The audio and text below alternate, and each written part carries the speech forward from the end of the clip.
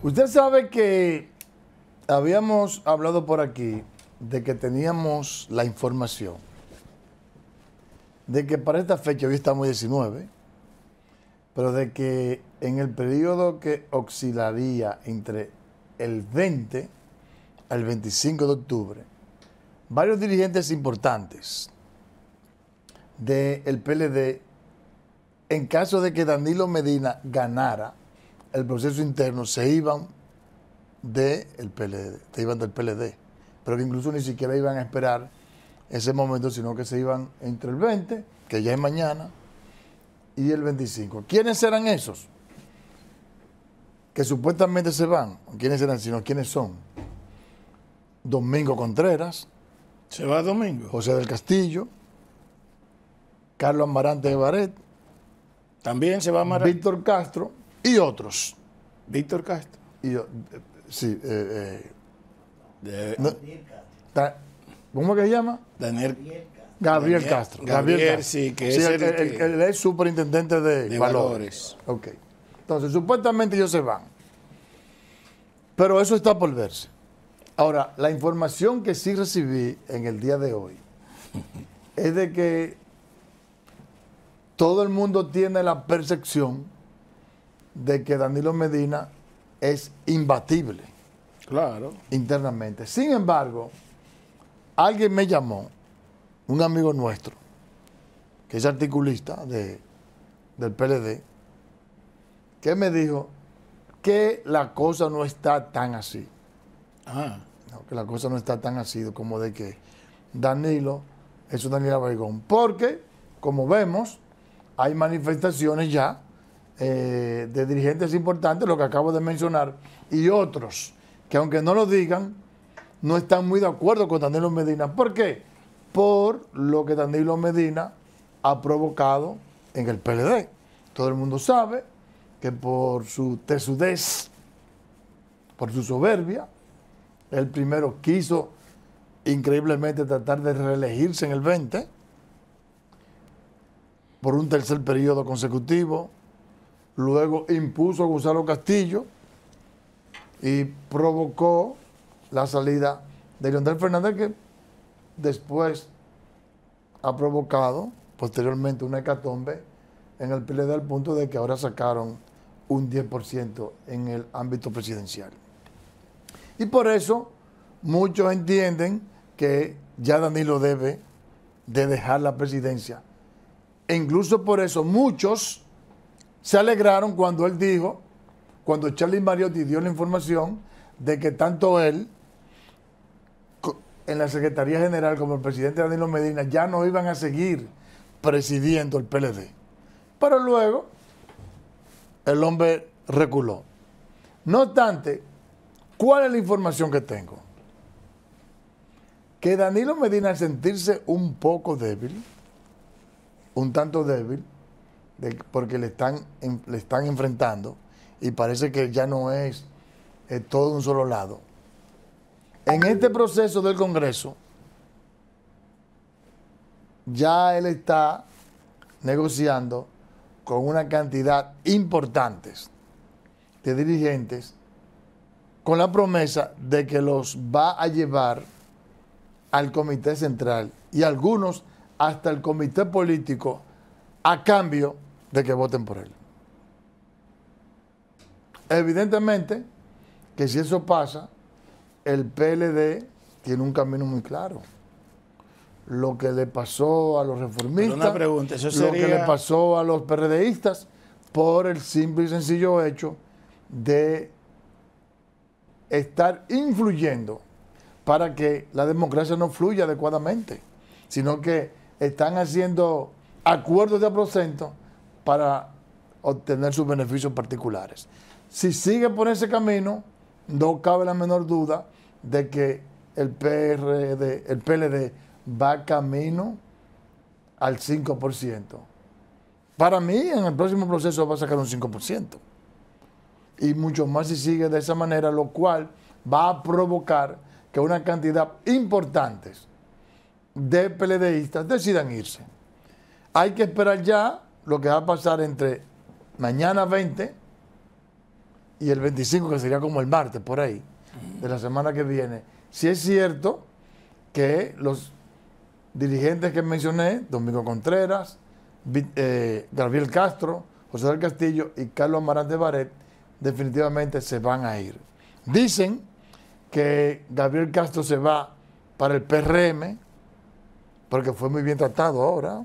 eh, el parte de- presidente le respetó que se cumpliera el periodo. Digo, tenía que respetarlo. Eso no era que, será no molestarlo, pero la ley indica que él tenía que quedarse Pero ahí. parece que lo trataron Pero bien. aparentemente, Domingo Contreras, José del Castillo y Carlos Amarante Baret tienen casi su maleta hecha para irse para la Fuerza del Pueblo. Es posible que José del Castillo no se vaya tampoco para la Fuerza del Pueblo, sino que podría irse también para el PRM. Pero las informaciones que tengo apuntan a que in- tienen intenciones de irse para la Fuerza del Pueblo.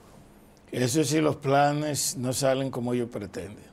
Yo Bueno, creía que lo que pasa es, lo que pasa es, perdón que te interrumpa, lo que pasa es que eh, las elecciones internas, eso es el año que viene. Pero en este proceso de Congreso, Danilo está amarrando para que la elección de los miembros del Comité Central, porque primero hay que elegir a los miembros del Comité Claro, Central, claro. porque los miembros del Comité Central son los que eligen luego los miembros del Comité Político. Sí, sí. Entonces, si él introduce 100, Amarra abajo. amarra abajo y, y introduce 100, 150 nuevos miembros del Comité Central que respondan a él, se sabe lo que va a pasar. Lo que parece que la correlación de fuerza actual que hay en el Comité Central no está tanto eh, a su favor. ¿Tú recuerdas que hubo una oportunidad cuando se reclamaban las alianzas de una firma de más de 500 miembros del Comité Central? Y por eso fue que Danilo echó para atrás y aceptó la alianza con Fuerza del Pueblo. Y Danilo es experto en haciendo amarres Sí. Y también otorgando poderes, porque una de las cosas que Danilo sabe abusar. A mí me gustaría saber cuál sería la situación de Ramón de la Rosa, de San Juan, que recuerdo que para las elecciones del Comité Central, Ramón ganó todo en San Juan. Pero ¿qué resulta? Que como la hermana de Danilo es miembro del comité político, ellos estaban asignando la posibilidad de elegir dos miembros y llevarlo al comité político. O sea, para ser miembro del comité central. Pero como Ramón le había ganado con, me parece, cuatro o seis en, toda, en todo San Juan, ¿tú sabes qué hizo Danilo? Además de los dos que ellos le otorgan para que tú elijas como miembro del comité político, le dio cuatro más de la reserva a Yomaira. Y Ramón estaba como aliado. E incluso para la membresía del comité político hubo una caja de Ramón, porque Ramón llegó a verse en la pantalla aquella vez como electo. Y de repente la cosa cambió y hubo, hubo el eh, se publicó que Ramón estrelló silla en su momento. Bueno, De manera que se pueden dar estos hechos que, de los que Danilo sabe hacer, pero yo creo, yo creía que el PLD tenía alguna fuerza. Con lo que pasó con Tito Hernández no ya. y la elección junto con Hipólito para darle al PRM la AMPA, no se puede pedir más. Si lo, si lo poco que tiene lo está dando. ¿Qué te Pero, está diciendo? pero a quién, porque aquí la cuestión es que el, el ministro es de Hipólito y los daños y las cancelaciones. Pero de eso que te estoy hablando. Si lo poco que tú tienes lo estás dando, pobre de ti. La Mira, agresión. también hay problema en el PRM. Serio, Me acabo de enterar. serio.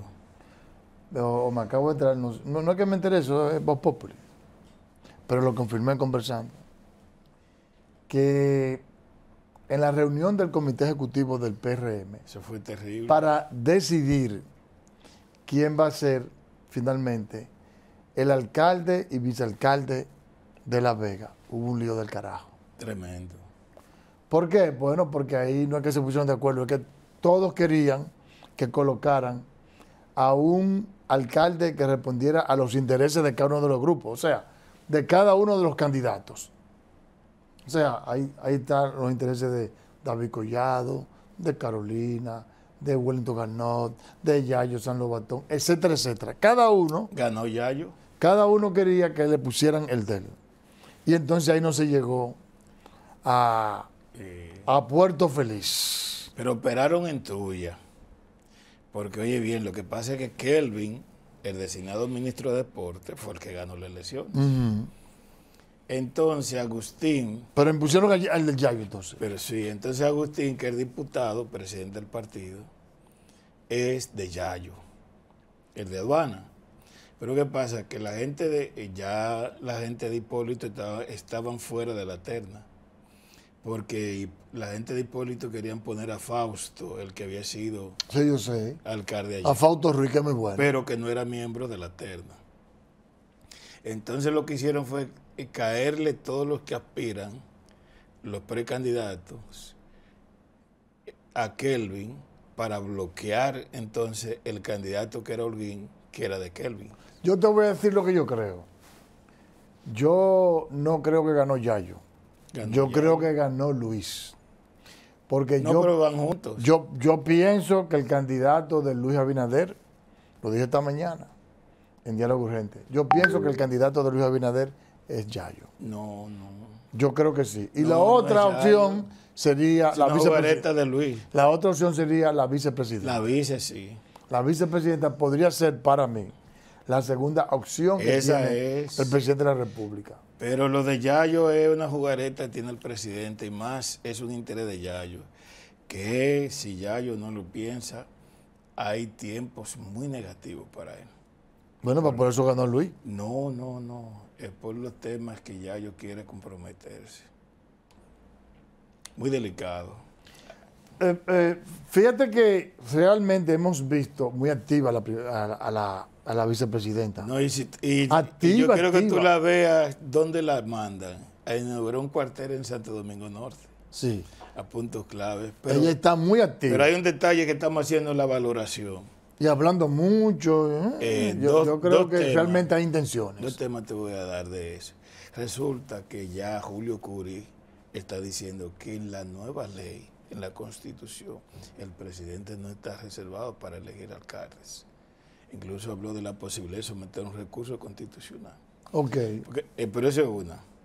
Pero la Si otra, no, no, se está hablando de que nada más están esperando que el presidente eh, son- haga el decreto para de una vez irse para otra, a mí el tribunal administrativo. y como tú y yo somos compañeros de la Super 7, que a nosotros casi nunca nos llaman de La Vega. Nos llaman de todo el país, pero de La Vega no nos llaman.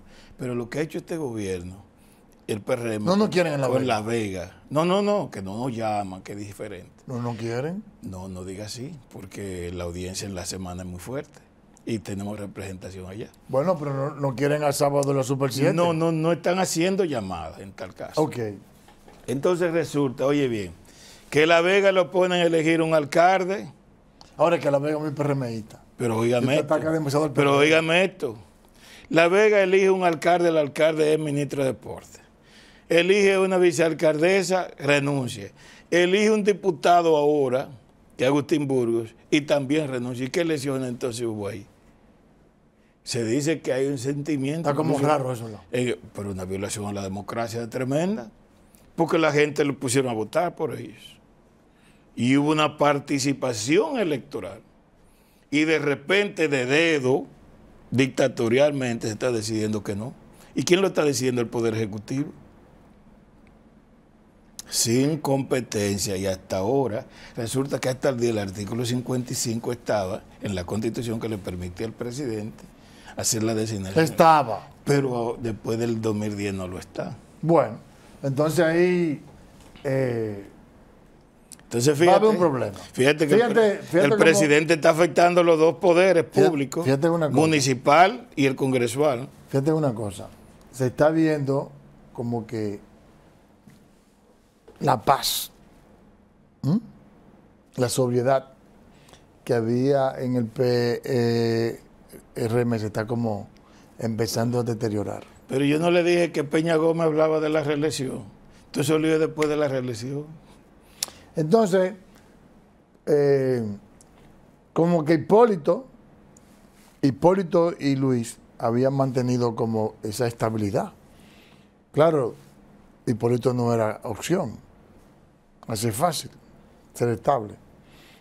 Ahora la cosa puede cambiar porque eh, Hipólito, aunque no quiere, aunque no sea él, quiera, quiera Carolina. Quiere, no, ese es su Y proyecto. entonces, exactamente, ese es su proyecto. Entonces, yo tengo la sensación de que el presidente su opción no es Carolina.